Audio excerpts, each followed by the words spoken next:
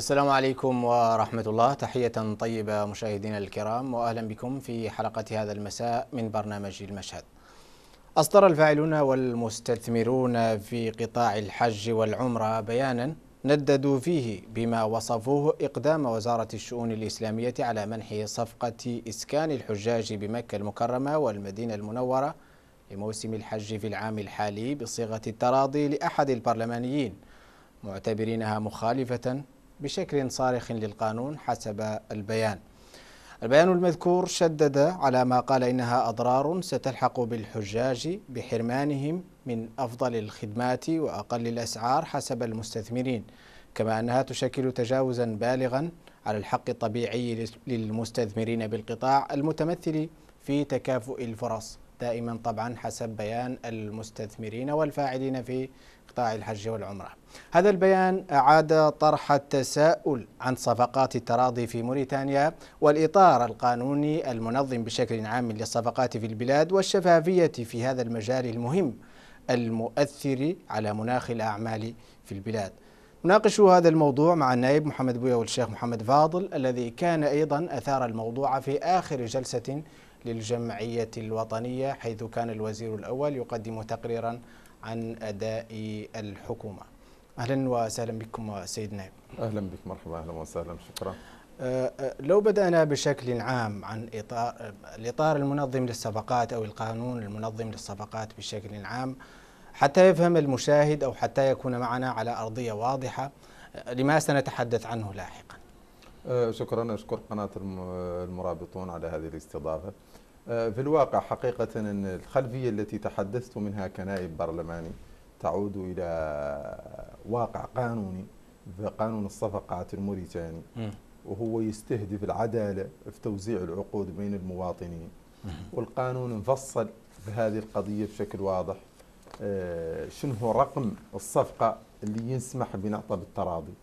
وعموما في القانون يتيح إن ما دون 10 ملايين من لوقيه يقد المسير يعطيه بشكل صفقة تراضي بينه هو والمورد غير لين يتجاوز المبلغ 10 ملايين من لوقية حسب القانون الموريتاني.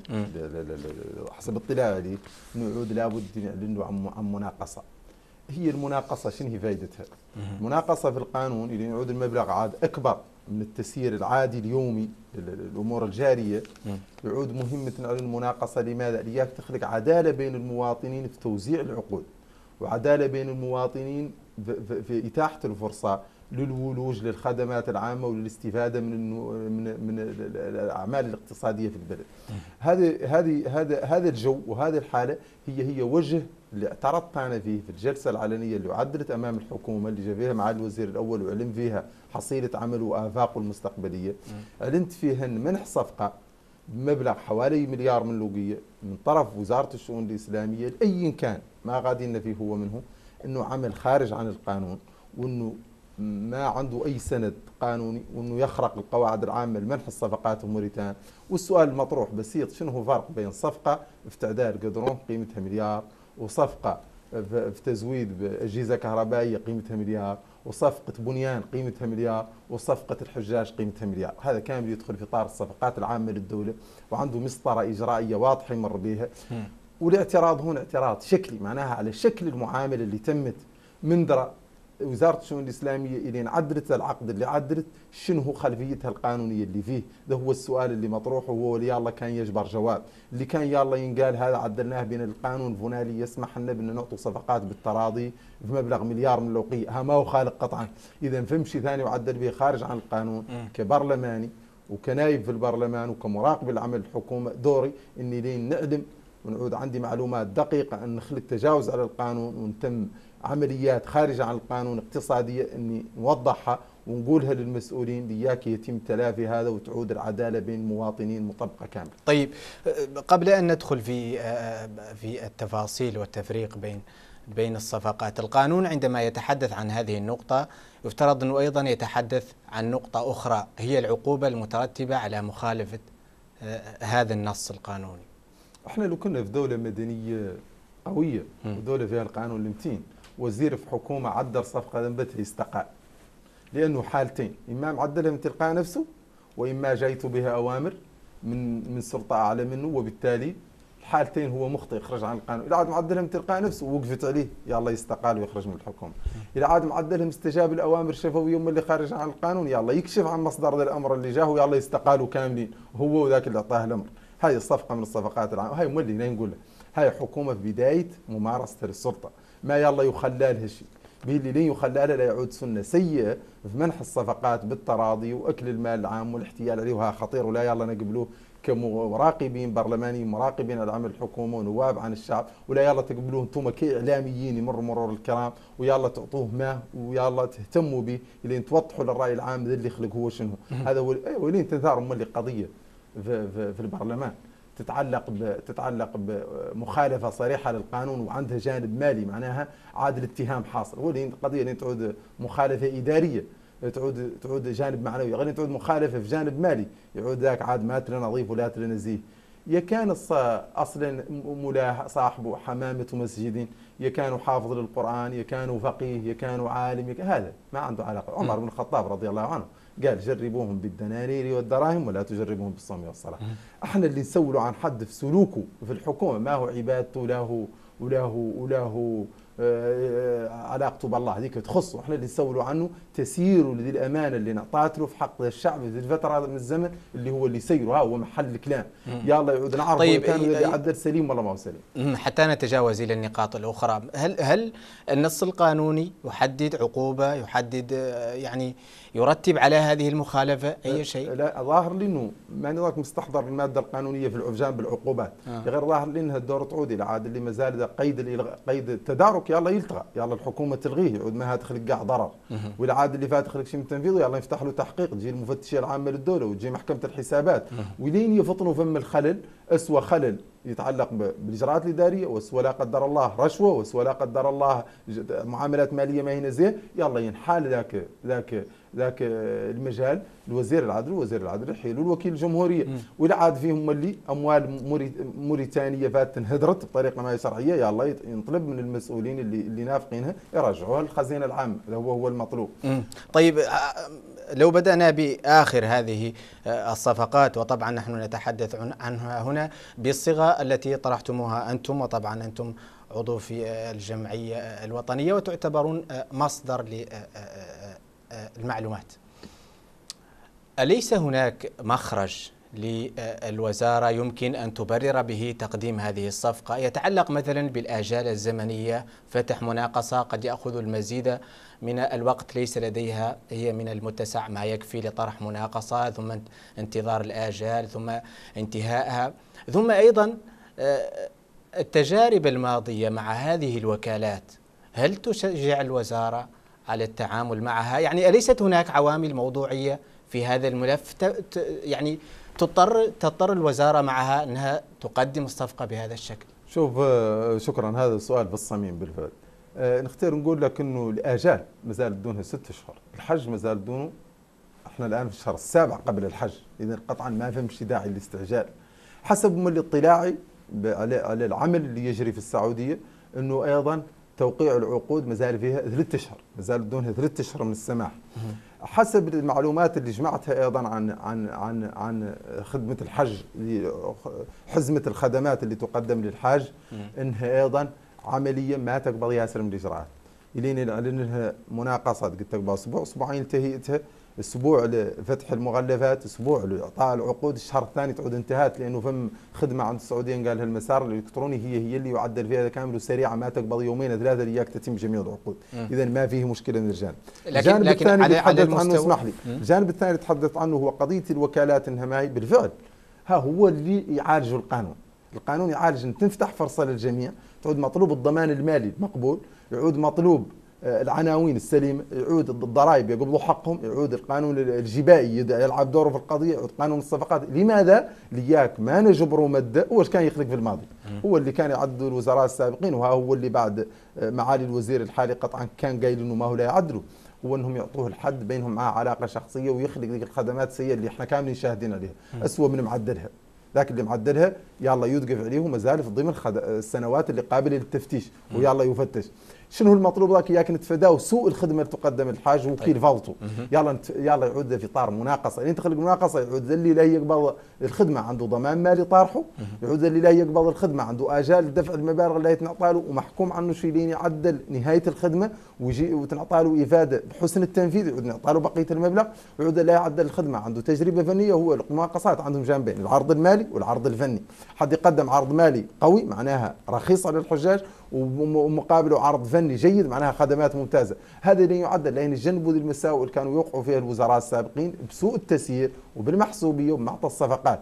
اللي كان في ذهني أنا واللي وساني نثير هذه القضية في اختيار اولا هون اسمح لي نشر على قضية مهمة. إني كشخص وهذا للأسف يبدو إنه ألسنة السوء في, في, في, في, في, في التعليق على هذه القضية. اعتبروني صاحب مصلحة وإني عندي نختار نتحدى وزارة الشؤون الإسلامية. إذا عدت لي من يوم وجيت قد جيت الوزير حوالي عشر مرات. يا كاني قد جيت اني عندي وكالة. يا كاني قد طلبت منه اني ندور صفقة يا كاني قد قلت له اني لا نطرح الصفقة. اختار نقول هون إني الصفقة ما قد طارح لها ندورها وإني ما عندي نية نطرح لها هم اللي في المستقبل. ما هي جزء من نشاطات طيب الاقتصادية. طيب واضح حتى. لا مهم هذه لأنه آه الجماعة اللي هنا اللي ذرنا ذا ركزوا على جانب ما هو حق. أنا عندي نشاط سياحي يا غير ما فيه تنفيذ الحج اللي عند الحكومة. الحج جانب من الحج العام اللي عند الحكومة ما مارسه ولا قد مارسته. ولا يعنيني أنا مارس نشاط سياحي ثاني فيش مرتبط بالحج طيب واضح واضح. حتى. نعود إلى الموضوع الرئيسي واضح. في لا لأنه قلبت القضية وعاد كأنه أنا مدافع عن شيء ما قد جميع وزاره الشؤون الإسلامية نتحداهم يا كان فيهم حد قد جيتوا إني عندي ندور نطرح هذه الصفقة والله قد جيتوا إني هامني نطرح لها والله الان فتحت المناقصة يدور يشوفوا كان إلى نطرح لها والله ما إلى نطرح طيب الخدمة. حتى نعود إلى إلى آه، آه، النقطة الموضوع الرئيسي في في آه، الحلقة نقطة الآجال الزمنية هي قد لا تكون فقط متعلقة بارتباط الوزارة أو علاقتها بالجهات السعودية. هي لها أبعاد محلية. الوزارة لا تنظم فقط تقديم المناقصات للمستثمرين هي تنظم مجال الحج كامل وعدد الموريتانيين الحجاج واضح. شوف أنا قطعت لين نفيدك من هون الصدفة. أنا قطعت قنصل أول في القنصلية الموريتانية في جدة حوالي خمس سنين ومدرك لعملية الحج. الحج أربع خدمات إذا كان عضو واضحين الخدمة الأولى التأشرة وهي تعطيها المملكة العربية السعودية مجانا للمسلمين. الخدمة الثانية التذكرة وهذه ما هي ضمن العقد. هذا عقد تعدد الخطوط الجوية الموريتانية منفصل. الخدمة الثالثة هي سكن الحجاج في المدينة المنورة وفي مكة المكرمة وفي المشاعر. والخدمة الرابعة نقل الحجاج. هاو الخدمات الثنتين هم هم اللي على وزارة الشؤون الإسلامية. هم مزاء هم هم مدار الحديث. هاو الخدمات إجراءاتهم وإعلام مناقصتهم وضماناتهم ما تقبل سبعة أيام. ونختار نأكد هي لك هي اسمح لي حتى نختار نأكد لك هون. قبل ان نتجاوز هذه النقطة.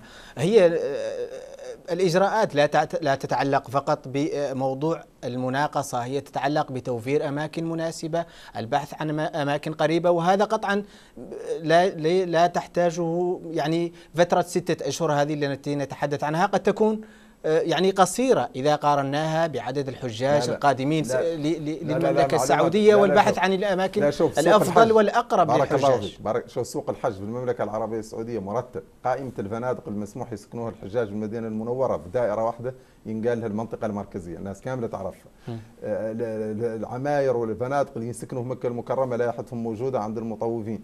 جميع الشركات اللي عندها ترخيص إنها تكري الحجاج موجودين عناوينها موجودة. القضية لا تتعلق بالأماكن. لا اسمح لي. أيضا المملكة العربية السعودية استثمرت في المدينة المنورة وفي مكة المكرمة لأن عاد عدد الأماكن اللي يرفد الحجاج متوفر ما تقدر تجبر حاج غالب ويجبر بليده يكري لها. لكن هناك لكن الأماكن تتفاوت آه. لكن الأماكن يعني من الطبيعي جدا إنها تتفاوت. هناك صحيح. في في فيه البعد فيه القرب في الخدمات طبيعة الخدمة المقدمة تتفاوت. لا تتعلق بكثرتها أو توفرها. من درايكانك لا ينسى ولا كان من درايكانك لياك تحصل على هذه الأماكن؟ أشبه لك تحتاج فترة زمنية على الأقل سؤال بسيط لي... ما هو معقد ما هو معقد اسمح لي. من رايك كانك كوزارة الشؤون الإسلامية الموريتانية عندك 2000 حاج لا تسكنيهم وتعدي لهم الخدمه إياك تجبري لهم أفضل شيء أفضل لك تعدلي إعلان يعلم به جميع الناس اللي في ذا المجال وتشتغل لك 20 جهة والله 30 جهة في نفس الوقت إياك تجيب لك عروض مختلفة والله تبركي برقاج واحد وتقفل عليه بيروه معاك وتعدلي معاه قضية شخصية بينكم أنتم ذا أيوه أفضل وأي أسرع وأي أشبه. لا شك إن في المنطق العادي الأمور ان الأفضل هو إنه تنعلن العملية للناس كاملة وتشارك فيها دور يدوروا جميع الناس يجيبوا عروضهم في نفس الوقت ويجيبوا اقتراحاتهم في نفس الوقت ويجيبوا معلوماتهم في نفس الوقت بينما شخص واحد لا يجيب إلا ذاك اللي اطلع هو عليه والله أعلم به بالإضافة لأنه القانون يمنع ذا النوع من التعامل في ذا النوع من الصفقات في ذا النوع من الفترات. طيب بغض النظر عن عن آه، ما يتحدث عنه القانون في هذا البعد أليس فيه أليس فيه شيء من أليس فيه شيء من الموضوعية لو لو تحدثنا عن النقطة المتعلقة بتجربة الوزارة مع مع المستثمرين والفاعلين في هذا القطاع.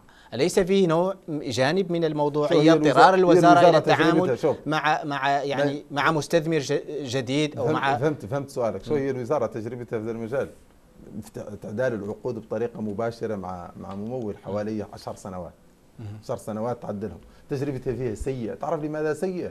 بها اللي تعدد اللي يعدل السنة. يقبض الوزير واحد راضي هو عنه الله أعلم بذاك المشتركين. ما يقدر يطلع عليكم مولانا.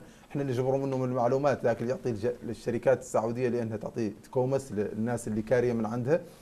إحنا شو ندوره يغير ذا النمط. أنا بنقاشاتي قلت لك لا نعود جيت الوزير حوالي 10 مرات.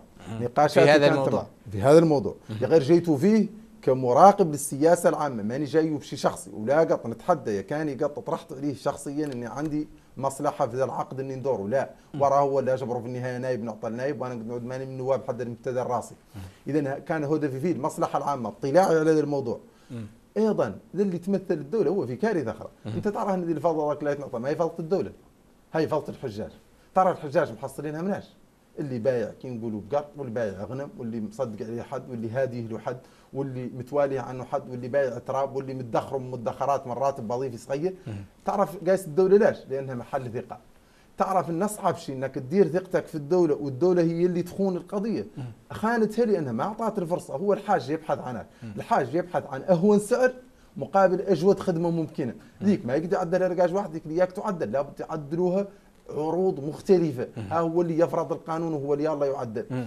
إلين اللي يفرضوا القانون ويعدلوا يدور تجبر الخدمة الحسنة مقابل ذاك والقضية قضية شكليه توحي بأن الوزارة تجاوزت نصوص القانون والقضايا الشفافية طيب زرتم آه، آه، الوزير آه، عشر مرات في هذا الموضوع.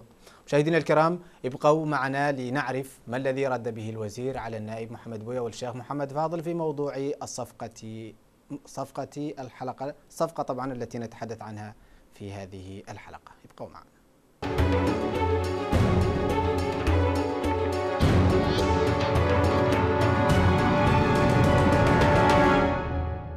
قناة المرابطون تعيش معكم يومياتكم. وتقف إلى جانبكم. توصل الصوت وتوضح الصورة. نتابع معكم الجديد عبر نشرات إخبارية مفصلة وموجزة. باللغة العربية. والفرنسية. كولار. ولف. سونيكي نطوف معكم الوطن بل والعالم. بتقارير تعكس الواقع من الداخل ومن العاصمة نواكشوط تحكي آلام وآمال المواطن. نقدم لكم برامج متنوعة. تناقش مختلف الاهتمامات سياسية وتشريعية وثقافية ورياضية. وقضايا الرأي العام. نتوخى السبق ونحافظ على المصداقية. ونجسد الموضوعية. المرابطون. الوطن بكل أبعاده.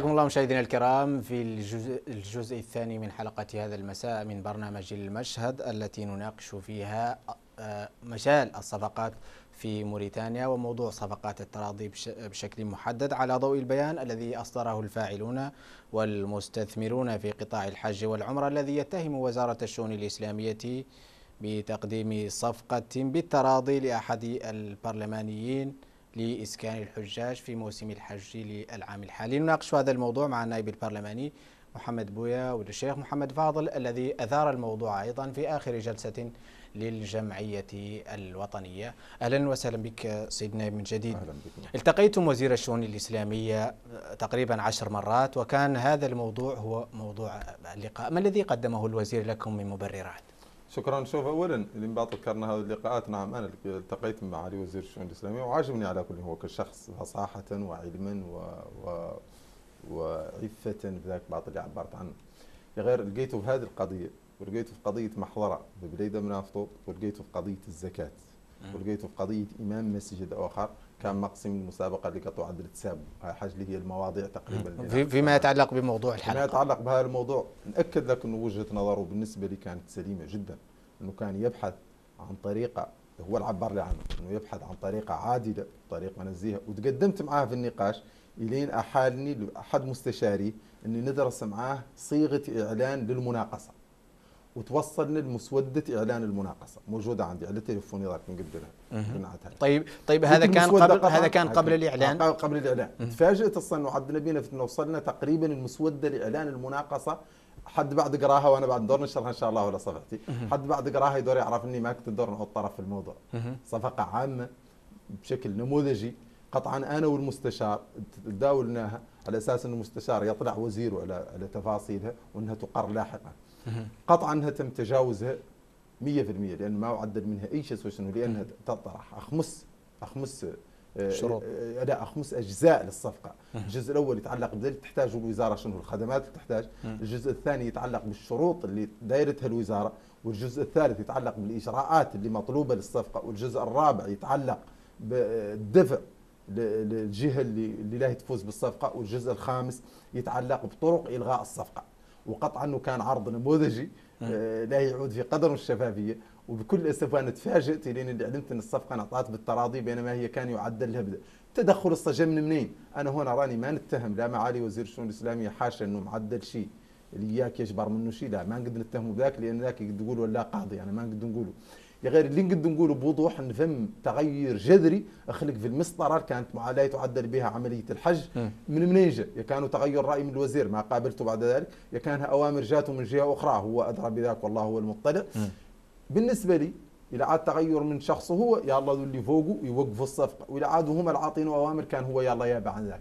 لأنه قطعا قناعتي قناعته حسب إجباري معه إن الصفقة يلا تتم بطريقة شفافة ولا يلا تتم بالطريقة اللي يعدل الطرق وهذا راهم اللي ما عنده علاقة بالجهة اللي كسبت الصفقة ذاك شيء خصها. أنا ما نتحدث عنها ولا عندي أي شيء ضدها. أنا نتحدث عنه العملية بشكل عام. بشكل عام. إن جانب الشفافية انفقد في هذه الصفقة. وإذا نتحدث عنه كجزء من خيرات الوطن وكجزء من حقوق المواطنين وكجزء من القانون اللي موجب عليه مراقبة عمل الحكومة في ذا اللي تقوم به في الفترة اللي نعود نايب في البرلمان. طيب هذا يقودنا موضوع هذه الصفقة يعودنا إلى موضوع صفقات التراضي بشكل عام. الرئيس السابق أيضا ق- كان قد تحدث عن أنه في بعض الحالات قد ي- يلجأ لها اللي هي صفقات التراضي. أنتم في كجهة آه، تشريعية كجهة رقابية موضوع صفقات التراضي في في في موريتانيا؟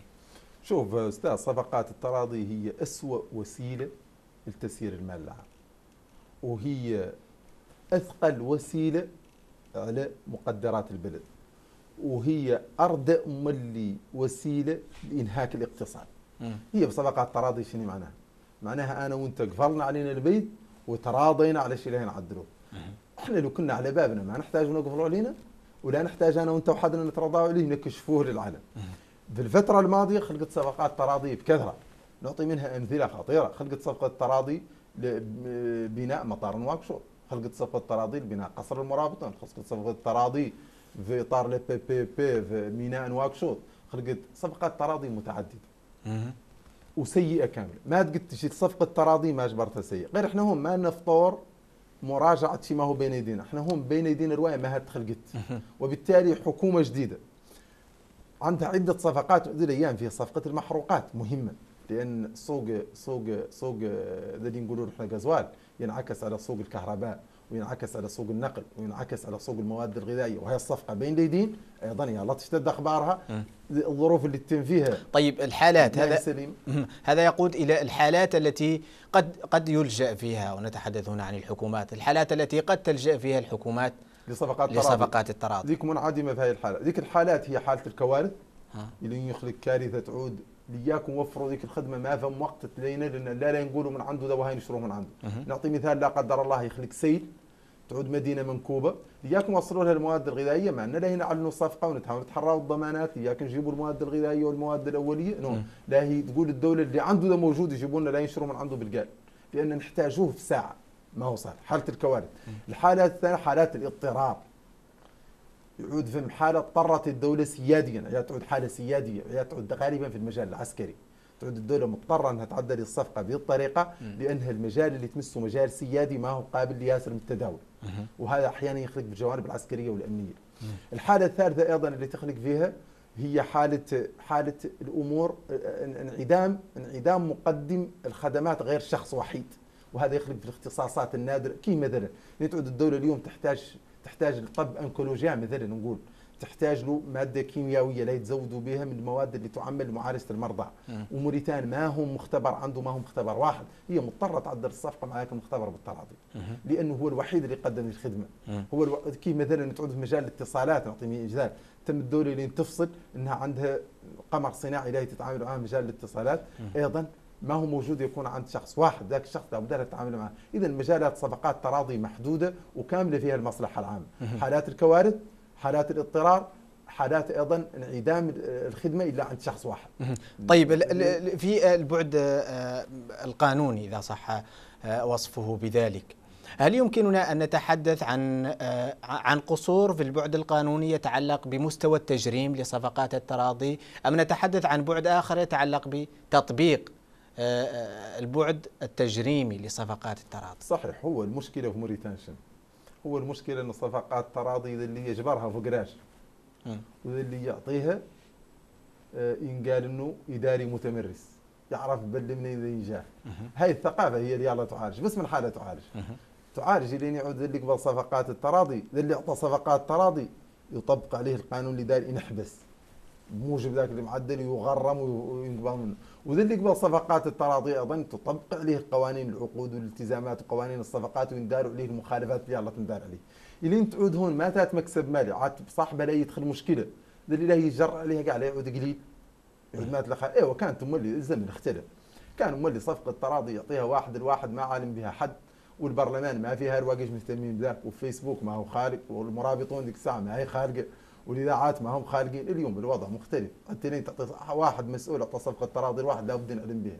ولين يعلم بها تنقال في البرلمان. تنقال في البرلمان قناة مرابطة تعدل عنها حلقة. وتجي وكالة أنباء أخرى وتعدل عنها تقرير وتعطى عملية رأي عام. اذا ما تات مولي مقبولة. ما تقدر تصح.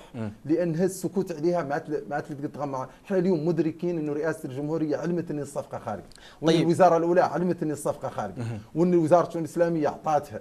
من درجة الصكام اللي كانوا لا يؤخذ بالحال. ما خلق شيء يعود يؤخذ بالحال. ما خلق شيء. معناها ان قايسين. وهون أنتم أنتم كجهة تشريعية كغرفة وحيدة تشريعية في البلاد.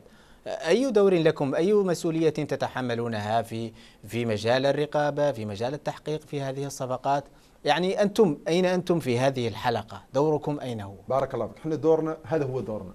أنا ضرك كنايب برلماني. يلا سائل ذا الوزير عن الصفقة. ولا نعدلها إن شاء الله تعالى. لأن نشيل سؤال شفوي مشروع نقاش حول الصفقة بس من حال أعطاها. يشرح لنا؟ وقد يقول لنا فطن شيء يقنعنا ما نعرف شنو. قد يقول لنا شيء ما عالمين به الله أعلم. قد يطلع عليه شيء يبرر. دورنا كمجموعة فرق برلمانية انشاء لجان التحقيق للتحقيق في ذا النوع من الصفقات. دورنا كجمعية وطنية عموما إن نسائل هم اللي اللي انتهوا نمنحوا الثقة الحكومة. ما نمنحوها الحكومة تعطي ذا النوع تعدل ذا النوع من المعاملات. يبقى الدور الأهم الصقاع. ما هو هو دور المواطن والناخب العادي. إنه لا يصوت ما يصوت الحزب السياسي ولا يصوت الحكومة. توكل المال العام الطريقة هو هو الأساسي هو المهم في العملية وهو ولي ينشاد به. وأنتم كإعلاميين وكصحافة هم هم اللي تعبوا المجتمع وهم اللي تثقفوا وهم اللي دوركم تشرحوا شنو هو معنى الصفقات. أنت تراهن اليوم يقدوا أنا هون تعليقات عندي على صفحه الفيسبوك واحدين قاعد صفقات تراضي ما يعرفوهم صفقات التراضي بتقول شنو؟ صفقات التراضي معناها حد يعطي شيء ما هو لون الدولة، الواحد ثاني ما فات عاد يستحقوا من المواطنين ما ما شقوا في المواطنين الاخرين. بذلكم مشاهدينا الكرام نأتي على ختام هذا العدد من برنامج المشهد. باسمكم جميعا أشكر النائب بالجمعية الوطنية محمد بويا والشيخ محمد فاضل وأشكركم على طيب المتابعة. إلى أن نلتقي في عدد جديد هذه تحياتي وتحيات فريق العمل. شكرا وإلى اللقاء.